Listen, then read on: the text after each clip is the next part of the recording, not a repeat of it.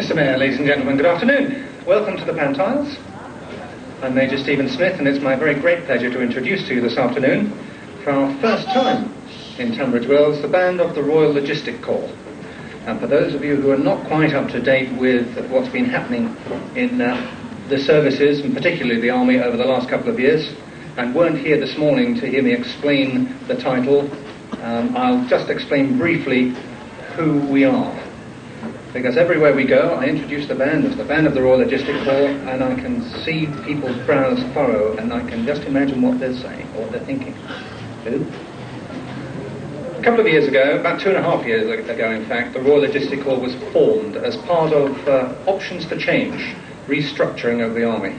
And the Corps is an amalgamation of what was formerly the Royal Corps of Transport, the Royal Army Ordnance Corps, the Royal Pioneer Corps, the Army Catering Corps, and the Postal and Courier Service from the Royal Engineers.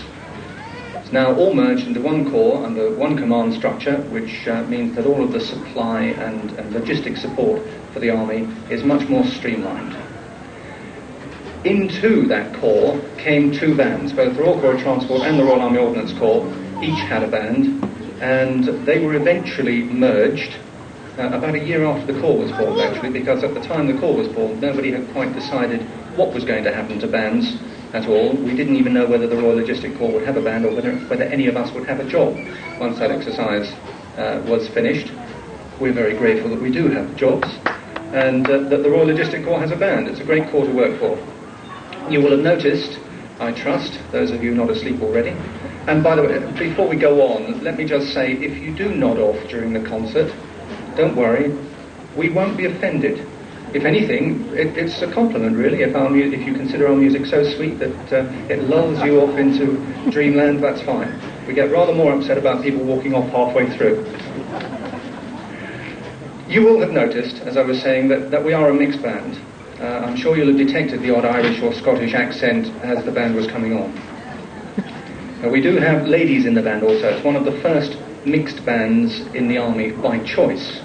The Adjutant General's Corps band became mixed because it was based upon what was the WRAC band and had men posted in at that time. But we chose to become a mixed band, uh, moving forward into the 21st century.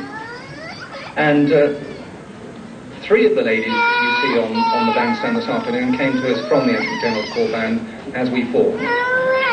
The other has not forgotten her uniform this afternoon, in case you think that. Let me just introduce a friend of the band to you. Alison, stand up and take a bow.